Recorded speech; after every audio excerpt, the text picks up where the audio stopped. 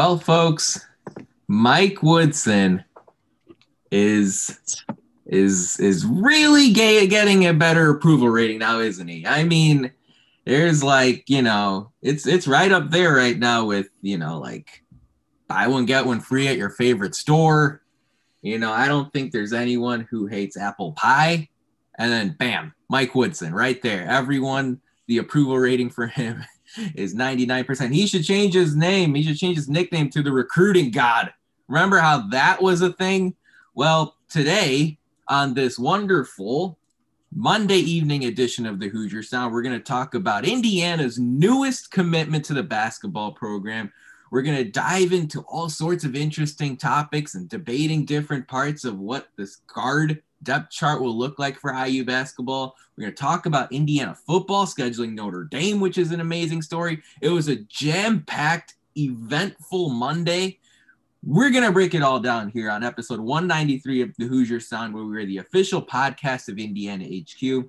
Our mission and goal is simple we want to bring in depth analysis and coverage of Indiana University sports to as many fans as possible across a multitude of modern platforms. We are recording this edition of the Hoosier Sound on April 19th, 2021, where I am your host, Nithin Krishnan. Here with me tonight is my usual podcast co host, Matt Lukens, and our newest Indiana HQ contributor, Jevan McCoskey. Jevan, it's the first time we've had you back on this podcast in a while. What an episode you've picked, and we figured out your schedule to help have you come join us. Let's dive right into it, Jevan. Tamar Bates, four star shooting guard who decommitted from Texas back in March, announced today he's going to play for Indiana, 6'4, 175 left handed shooting guard. What should Hoosier Nation know about Tamar Bates? Well, like, like you mentioned, 6'4, 175 uh, lefty that can shoot the ball, has really good range. Um, he's a real lengthy player. Uh, he's not the greatest one on one defender, but but he, I mean, he has the ability to become one with the length that he has. Um, he played at IMG Academy, so I mean, that, there's a repertoire of people who come from there. Everyone that usually comes from IMG, you know, they they know how to play basketball. They're recruited to go there. Um, so, like, what what what we should expect from him next year is he needs to be able to, to spread the floor. Ho- hopefully, you know, we are deep at the guard position, so he doesn't necessarily need to be able to handle the ball. Um, but if he has to, he will. Um, but really expect him to be able to stretch the floor and shoot the ball from long range. Yeah, it's really exciting news. Again, he's a top 60 prospect. You don't get those that frequently, Matt. No. What do you think Bates will have to get better at? You know, what's sort of your analysis of his strengths and weaknesses? Uh, you know, just so Hoosier fans have a general understanding of exactly the kind of player they're getting. Because, hey, after all, he was intending on going to Texas, where Shaka Smart was the head coach before Smart went to Marquette. Yeah, he was, and he, he would have fit in well in Shaka Smart's system as like the third guard in that system. So that's something that you're going to look forward to when he's at Indiana. He's a versatile defender because he's long and he plays tall. And what I mean by he plays tall is I mean he literally stands up almost straight at all times. So, you know, people are close to the ground. He has some length on people, so he can he can guard a guy that's maybe six, six, six, seven um, and switch onto him. So that he's a very switchable defender. He's got those long arms. Again, somebody like Mike Woodson, who's coming from the NBA, is going to love somebody like him on defense. Um, and he's a good, sh- he's a great shooter. He's not a good, he's not only a good shooter, he's a great shooter. He's an 88% free throw shooter. He shot 42% from three this year. He is a good three point shooter. Um, he will come in and be a good shooter from day one at IU. Now, what he can get better at are the opposites of that, which is that he has a hard time putting the ball on the floor. He can, but he looks really uncomfortable with it. Um, if he's, you know, forced to make a pass and forced to do some playmaking, he also struggles with that with turnovers. Um, he likes to throw the ball ahead in transition, maybe a little bit too far, can be a little bit reckless with the ball in transition.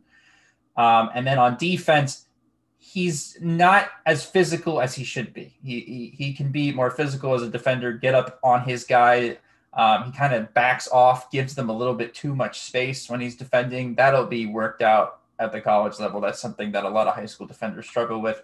Um, so really, all this, the problems with his game that he has, you know, the weaknesses that Tamar has, are all curable and honest problems that you know a lot of young basketball players struggle with. So it's not something that again the, the support staff and the, the the conditioning staff and and the development staff at IU haven't seen before in any other guards. Um, but he does a lot of things that are really hard to teach really well. Again, like shooting is already there. You're not going to have to work on shooting with him. He's got the physical tools. He's athletic. Um, he can get up and down the floor really easily. So he's going to have a bring a lot of you know amazing gifts and, and tools to this IU team next year. Yeah. yeah ooh, ooh, go ahead. Go ahead. Well, I was going to say, you know, you mentioned the fact that he, I mean, he's coming from high school, and he was. I, before this, I watched a couple episodes of IMG. You know, they do everything big, so they they have a couple different things on their YouTube channel, and one of them was yeah. about him, and and it kind of explained that you know he's he's a late bloomer in high school. He didn't really get the recruiting, like he wasn't recruited hard up until this last uh, last year, and with that came the fact that physically he's just a late bloomer. So I feel like coming into college, one, I mean, obviously uh, the program here at Indiana, you're going to get bigger. We've seen it with people like Jordan Geronimo, Anthony Leal, the entire freshman class really last year. Um, so I feel like being able to play more physical will come with just getting bigger and stronger, and that will definitely happen as soon as he steps foot on campus. Yeah, over on 24 uh, 7 Sports, Jerry Meyer put together a scouting report of Bates. And here's a direct quote Thin build, but has some length for a skilled combo guard type has a burst of athleticism to go along with high level instincts, a lefty, and possesses a shiftiness to his game.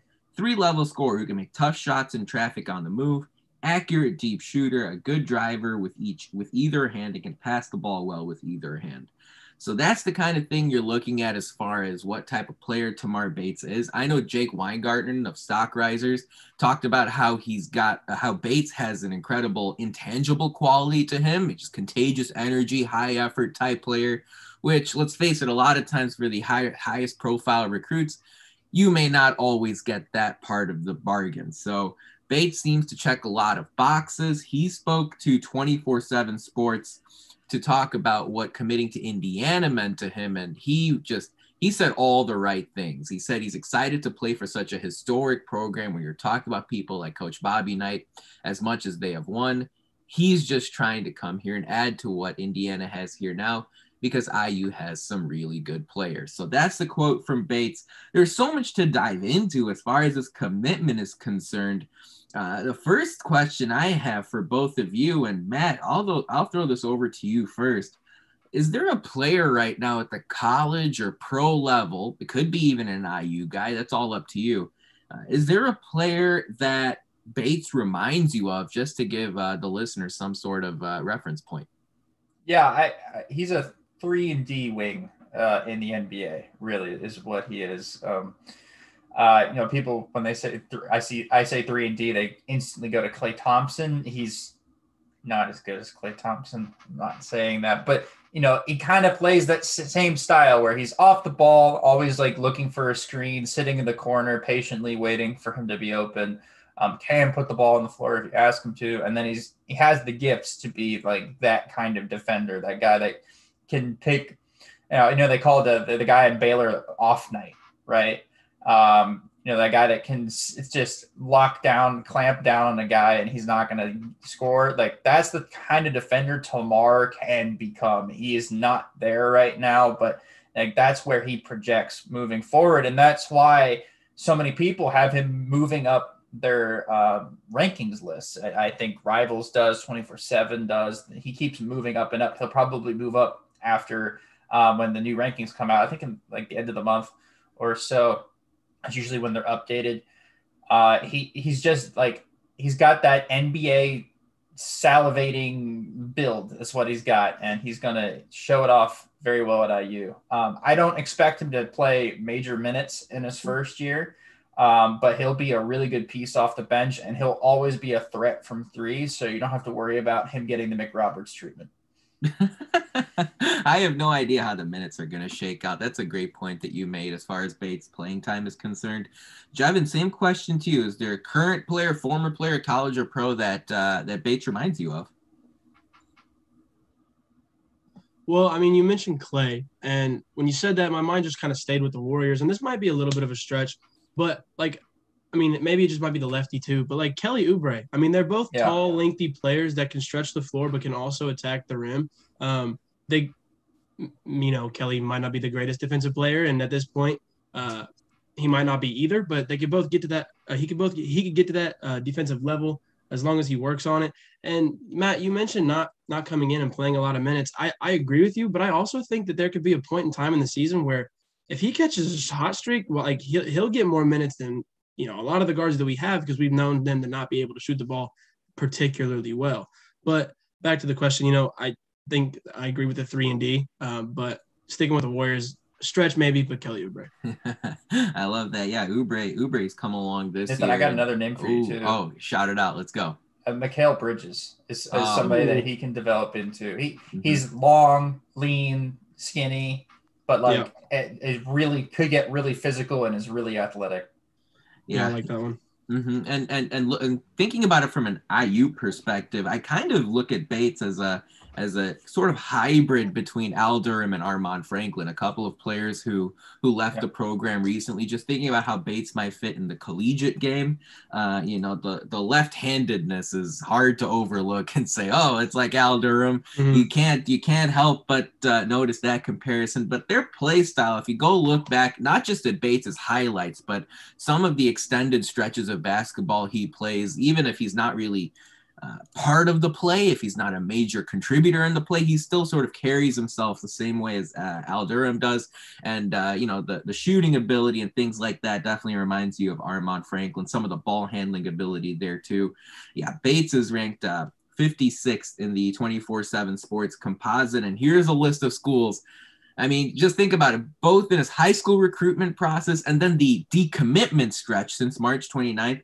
A long list of high profile schools tried to go after him, but some of the names that popped up just in the last few weeks Oklahoma, Oklahoma State, Marquette, Illinois, Oregon, Purdue, Kentucky, Tennessee, Alabama, Washington, and Gonzaga all at least attempted to reach out to Bates and had interest in Bates suiting up for their schools uh, this upcoming season. So both Sports Illustrated and Stock Risers reported that.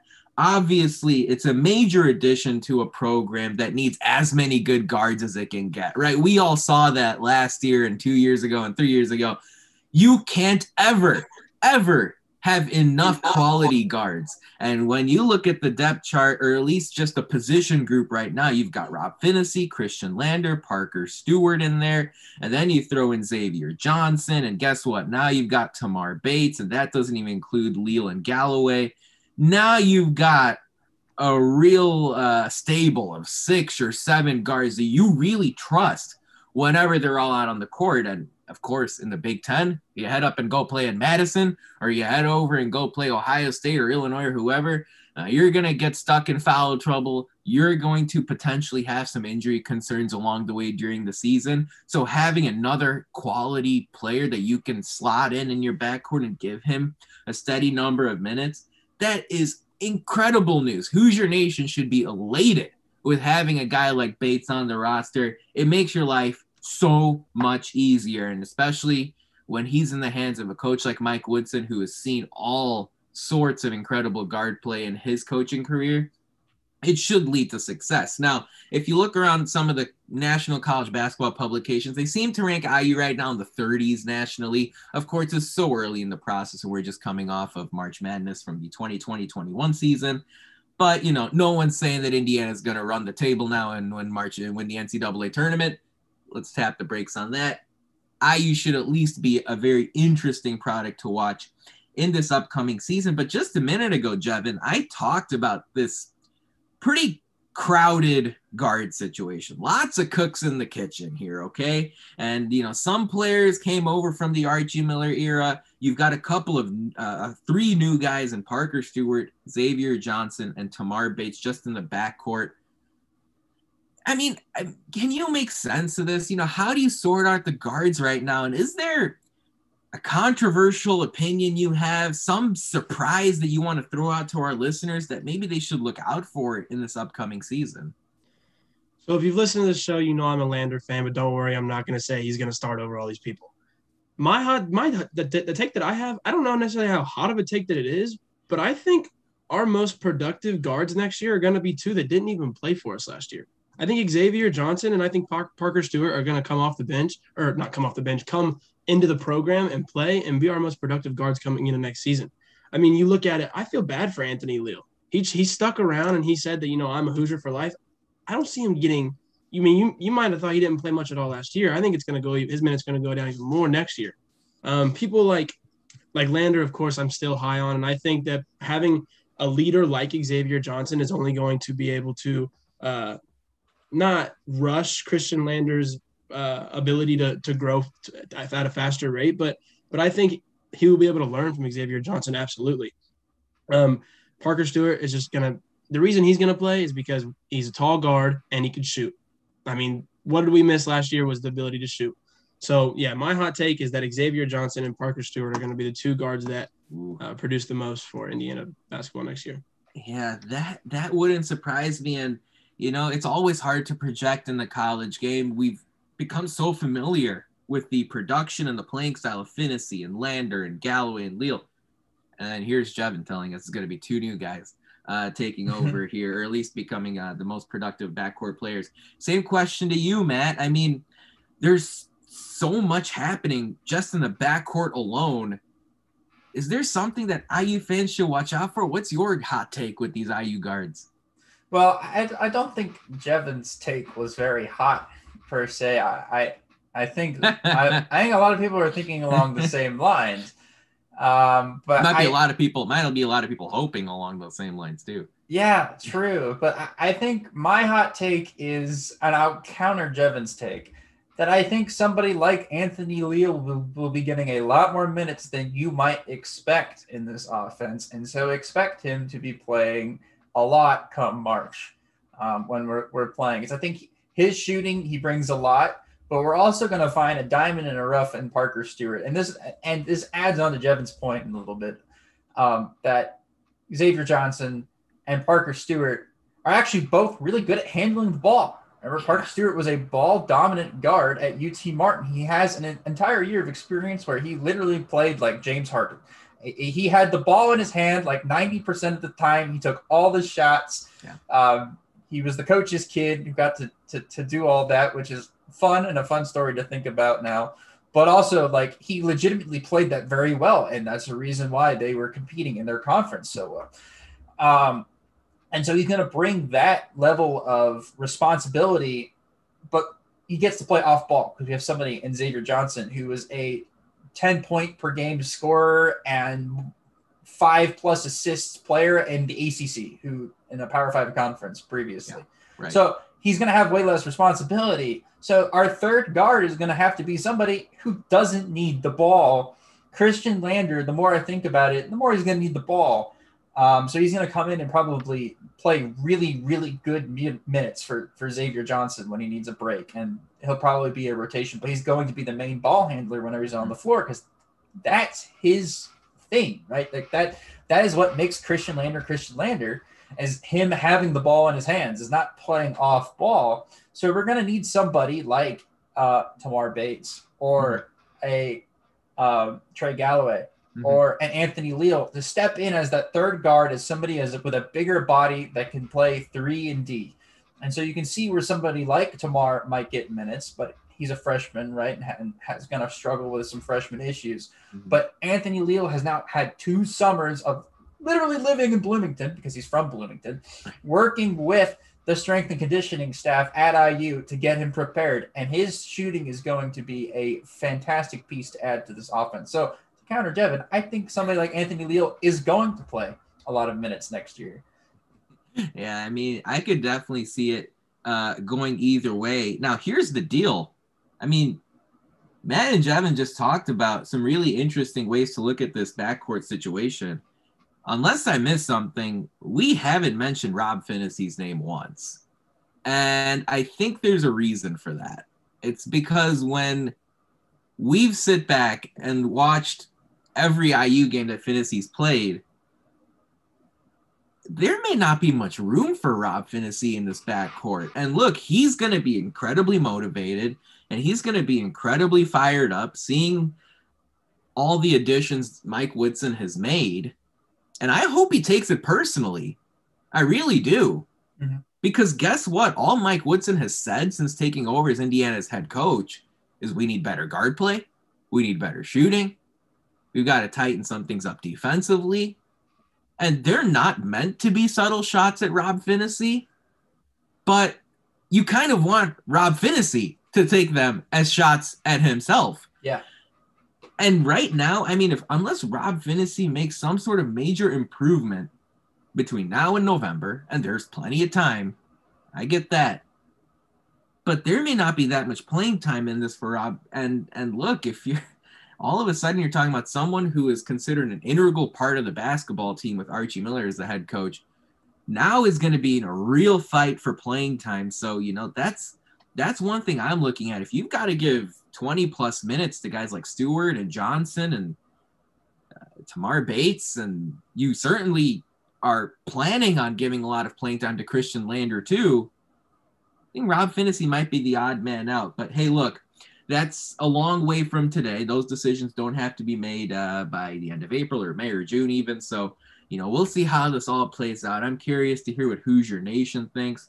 I went out on our typical weekly podcast Twitter poll, and I asked Hoosier Nation, hey, what Indiana newcomer are you most excited about? And this one's close. Uh, over 100 people have voted here in the basically 15, 20 minutes since this poll was published.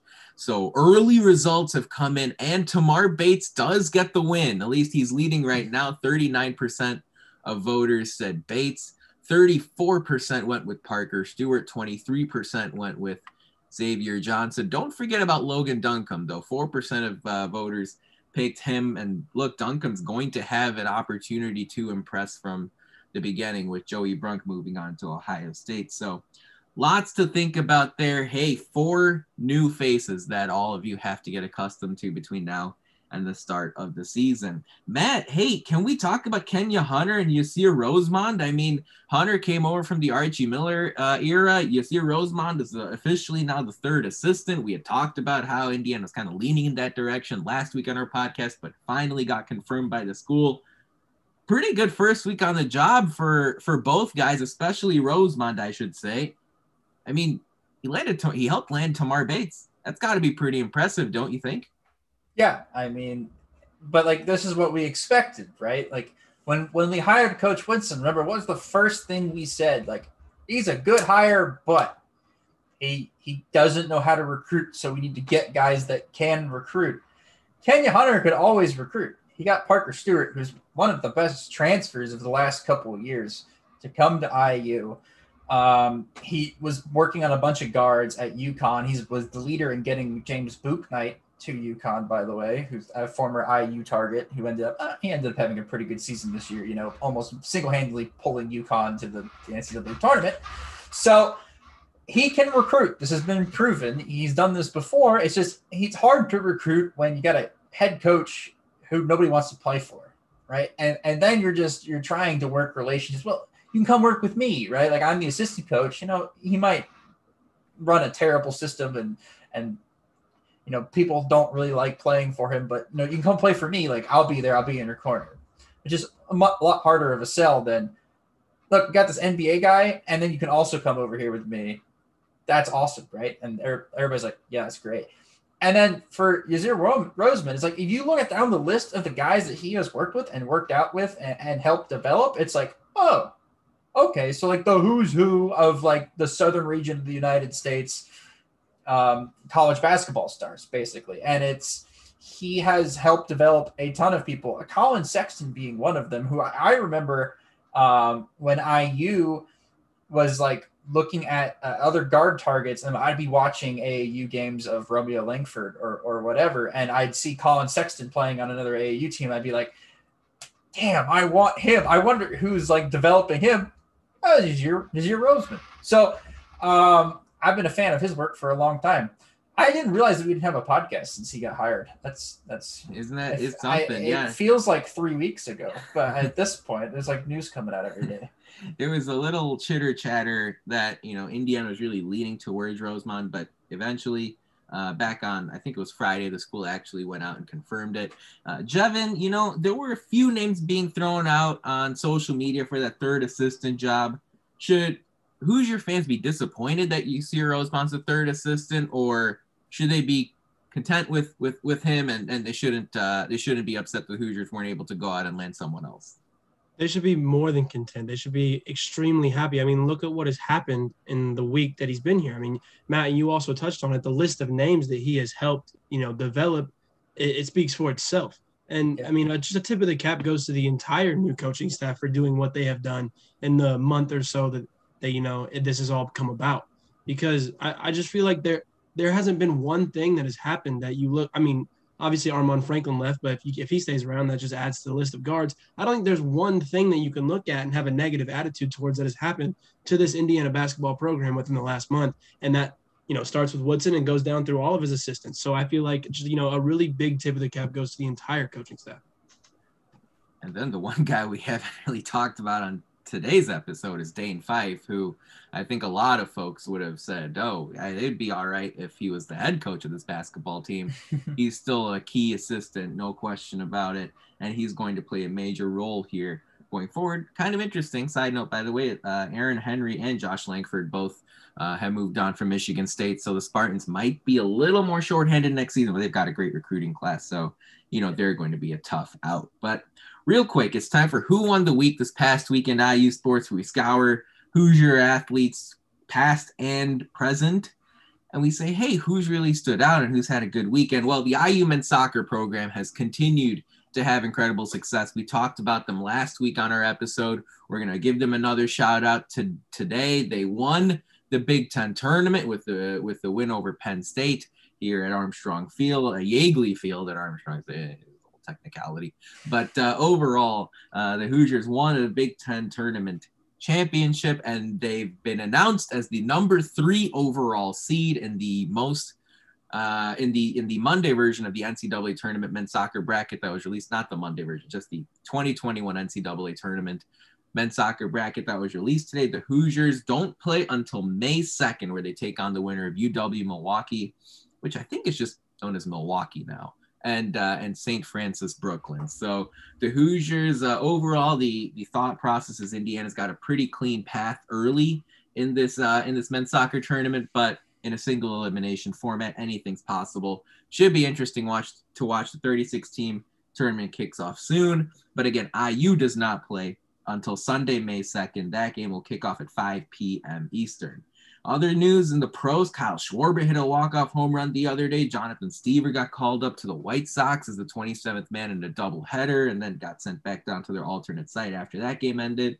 Yogi Ferrell was signed to a 10-day contract with the Clippers. So all sorts of good news for Hoosier Nation here going across uh, the, the sports landscape. It's great to see. If you'd like to subscribe to our podcast for free, all you have to do is search for the Hoosier Sound wherever you listen to podcasts. Stay up to date with all of our information by following us on Twitter at Indiana HQ and at the Hoosier Sound. And this is huge. If you enjoy our show, leave us a review on any platform. Tell a friend, share our links. Your support really helps us grow this podcast to reach more passionate IU fans such as yourself. Unless you have anything bad to say, then don't bother. I'm just kidding. It's fine. We, we welcome all feedback. Um, there are a few other tidbits here as we continue with the IU men's basketball part of this this podcast. Joey Brunk the other day committed to Ohio State. Kind of interesting to see him going back to Chris Holtmann. I don't know anybody who had an idea of what Brunk wanted as far as his next stop, but the Ohio State perspective makes it seem like this Brunk addition to the Buckeyes fills a pretty important uh, void on their roster. So we'll be tuning in to Joey Brunk to see how he does with Ohio State. It's the first guy who was transferred out that's ended up staying in the conference. We dodged that bull with Al Durham. We dodged it with Armaan Franklin, but Brunk staying with Chris Holtmann and playing for the Buckeyes. Matt, Indiana has one scholarship available still. And yep. we've seen, you know, in previous years that all the scholarships haven't been used, this, that, and whatever. Um, what do you expect Mike Woodson and his staff? Uh, what do you expect them to do with this one scholarship available that uh, they can still fill up?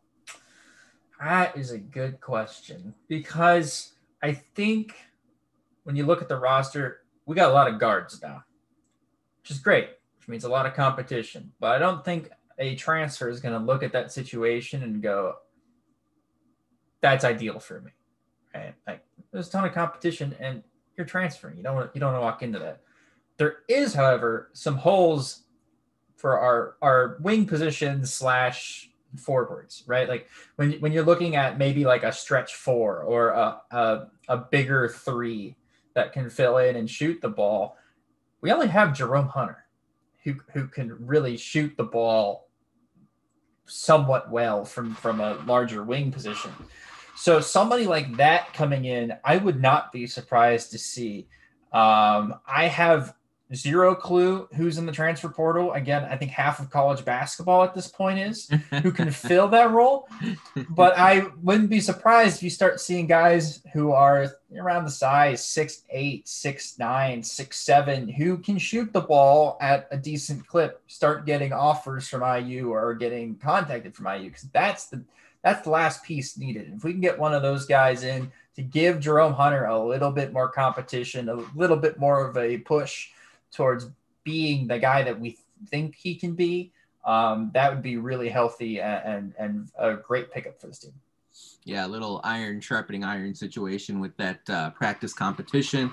Jevan, you know, same deal. You, you know, the one scholarship available. Mike Woodson told Jon Rothstein's podcast the other day that he seems to be intent on filling both spots. Of course, we just saw Tamar Bates getting added to, uh, well, I guess uh, reportedly added to with the announcement of his commitment. Uh, who are you looking uh, for Indiana to add in this last scholarship spot? A high school player, a transfer? Uh, what type of player do you want to see Indiana add with Mike Woodson? What are your thoughts on this last scholarship opening? Well, I had the same thoughts as Matt first with with you know trying to fill another you know maybe a stretch four or a taller three.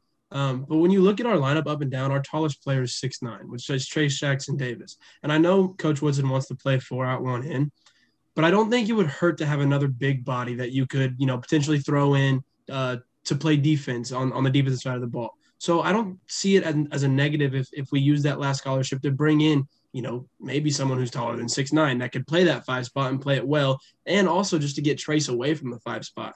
Um, because I think he he's come out and said before that he doesn't like playing the center position. He wants to be able to float around and move a little bit more. Um, and then it also lets Race play the four too if he if, if need be. Um, so while there's a necessity at, at, the wing for a stretch forward, there's also a necessity for you know a true center.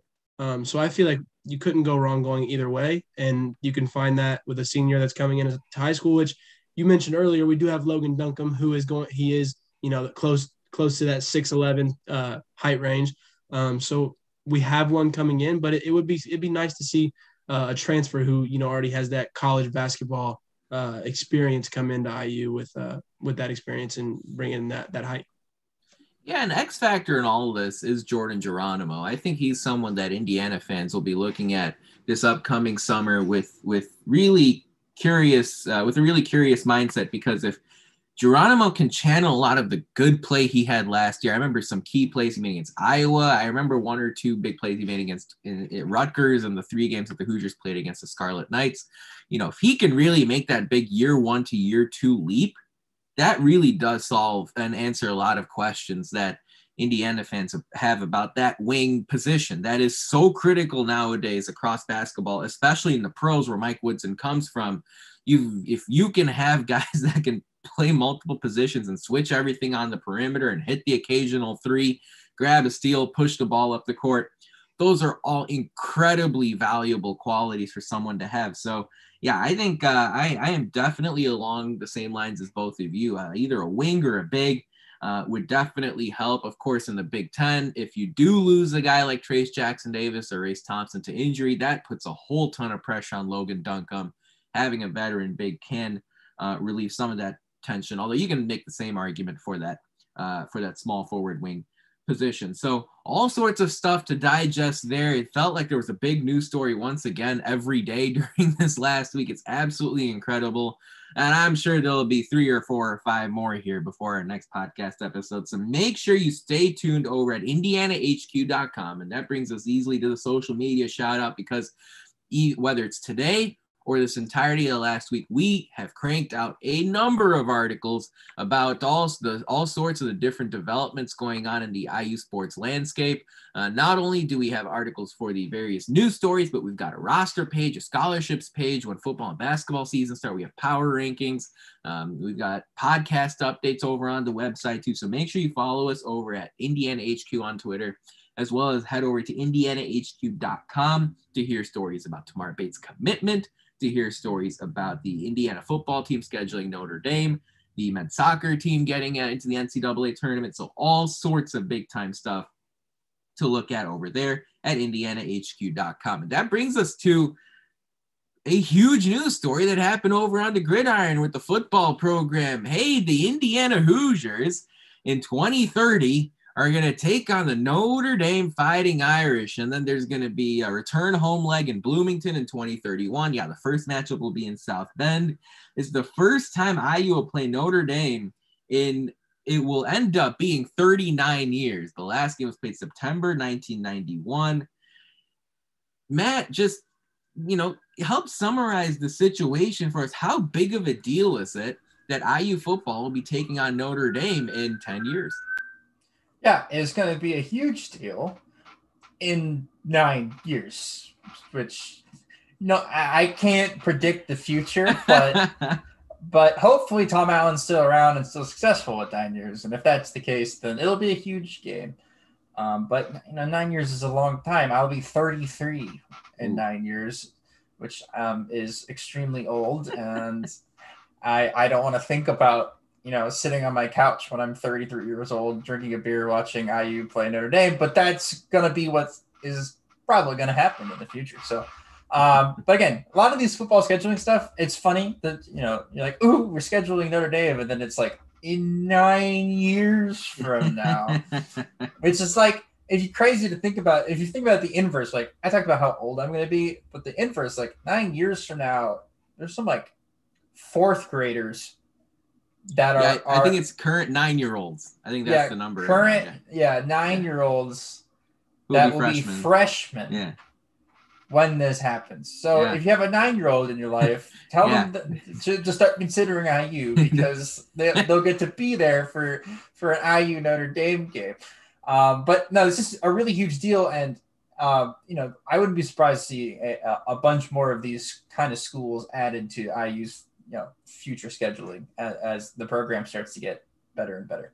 Yeah. Tom Allen pointed out uh, in a release uh, over on IUHoosiers.com, the official school website, that He's looking forward to facing one of the most storied programs in the history of college football. It's tremendous for the state of Indiana and for our fans, and it will be a great opportunity for our players. Fun fact Indiana hasn't played Notre Dame in Bloomington since October 21st, 1950. Jevan, I know that the headline to this story is that Indiana is going to play Notre Dame in football, but did it surprise you as much as it surprised me that IU got a home game out of this too? I, I mean, yes and no, but when you look at the the hopeful trajectory of this program, then it might not surprise you as much. Um, but one thing I think that needs to be talked about is just like you mentioned, how big this is for Indiana as a state, um, especially in the college football landscape. Like IU is, you know, trending up, and Notre Dame is obviously they're always sitting up there at the top. Um, so I think it's just great for the state of Indiana for college football. Um, and like you know, like Matt said, I'll be 31 telling my kids that they need to quiet down because I'm trying to watch Tom Allen coach some football. Um, hopefully he's still here and hopefully we are, you know, we're up at that level of, uh, you know, one of the, the top 10 teams that we, st- that we were last year. Hopefully we stay there for the nine years to come. But either way, as of right now, it's a huge announcement and I'm excited to be, you know, doing whatever I'm doing in nine years, watching IU football. yeah, I'll be 39. We're not going to get into that. um, you know, it's interesting when you consider future schedules that Indiana is playing. I'm just going to run through this real quick for those of you who may not know. Of course, the Big Ten conference portion gets announced very close to the start of the season, and they do those in one or two year blocks, but the non conference opponents get announced well in advance. In 2021, this upcoming fall, Indiana is slated to play Idaho, Cincinnati, and Western Kentucky. It's the same three teams in 2022. When you get to 23, Indiana State, Louisville, and Akron are on the schedule. The game against Louisville is going to be at Lucas Oil. In 2024, you've got FIU, Louisville, and Charlotte. Then once you get to 25 and beyond, Indiana gets Louisville at home in 25. But after that, there are a lot of openings available. Jevan, is there another high profile non conference team you want to see Scott Dolson and Tom Allen go after to add to this non-conference slate in 26 or 27 or 28 or do you want to see indiana schedule lightly and just then go ahead and take on the gauntlet of the big ten well that's the most important part to me is the gauntlet that is the big ten um, do i do i want to see us go out and schedule you know any any sec acc team uh, for a non-conference game yeah i think it would be awesome um, but it all depends on that gauntlet that is the Big Ten. Because I mean, you look at it, you have teams like Wisconsin, you have teams like Ohio State, Michigan, uh, and hopefully Indiana stays up in that the top of the Big Ten. Um, so you add us to that, that list. Um, so while it would be cool to you know go face an Auburn, to go face a Georgia or somebody like that, I I don't I I, I think we should just maybe not take it easy, but you know I mean play it off of how well the Big Ten is playing. I don't want Indiana to schedule any tough opponents. Like that may be something that our listeners hate to hear, but we just saw how tough the Big Ten is. I want Indiana to bank three easy wins and then take on the Big Ten. Matt, am I being an idiot or or or what what are your thoughts as as you look at Indiana's non-conference football scheduling philosophy? Yeah, I agree. I think if you're scheduling hard opponents, you better hope that your team is as good as an Alabama or LSU because, like, and deep too. Because you can have a really good team, but if you're not deep, like, you're not going to be playing very well by the end of the year. Because, again, football is just a sport of just injuries after injuries after injuries. It's physical and people get injured. So you're going to have to have a deep team. Um, so, like, scheduling too many hard opponents, it's just like too tough on on, college, you know, college kids' bodies. It's too tough. Um, but to your point, uh, or to your question, I guess, uh, about what I would like to see, I'd like to see us play away games and home series with teams that have fans in our recruiting bases. So that being Florida and the the greater area around Indiana. So I'd like to see us play somebody like a Northern Illinois. I like to see us play who we're playing this year, Cincinnati, which is great. Um, but maybe look at a Western Michigan, and then for Florida, I'm an expert on this. Somebody like a, a USF or a UCF, if you're feeling really, you know, ballsy, right? Like bold and daring. Yeah, bold and daring. So somebody like that in that in that area where you're wanting to look into getting recruiting in the future, maybe even some of the smaller Texas schools, right? If you want to go play a Rice or an SMU, mm. that would be a really good idea um, if you wanted to get into to that recruiting territory. Um, I think the, the biggest way to sell to recruits is showing that you are willing to go and play games in their home state.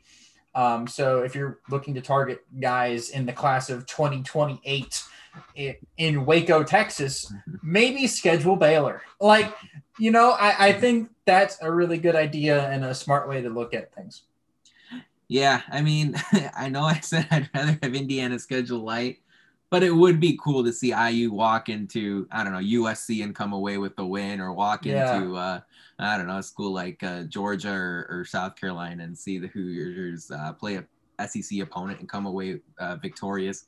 Um, definitely not something we've seen too frequently before. I remember when IU went down to Columbia and Missouri and beat uh, and beat Mizzou on the road. That was a pretty exciting win. Uh, and so you know, hey, if we can get that sort of uh, good vibes and good feeling again, uh, that would be interesting. But hey, you're never you're never going to uh, turn down an opportunity to play Notre Dame. They're very selective as to who they add to their schedule. And guess what? Tom Allen's team is on there. Nithin, add one more team to this list. You know, Notre Dame and IU are like pseudo rivals. Uh-huh. But you know, uh-huh. you brought up teams from the SEC. Why don't we just schedule Kentucky in football? Like, why is that not a thing? Why don't we just play them every year? Mm. I I don't understand. We should play them every year in basketball, every year in football. It's good for both schools. I don't at this point. I don't care if it's neutral court, or, or neutral field, or whatever it is. Yeah. Just make it happen. Just make it happen. Just it, it's good for both schools. Just just do it.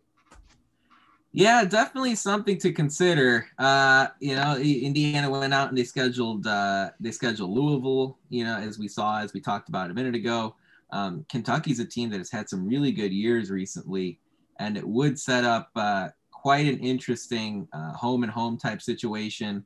Kentucky has a pretty crowded non-conference slate uh, in future years. They have Louisville slated for 25 uh, for uh, every year because uh, that's their annual rivalry game. But I mean, when I look at some of their other non-conference opponents, they're pretty weak. Maybe Indiana can swap in uh, for one of them in the years to come. Just a quick news update.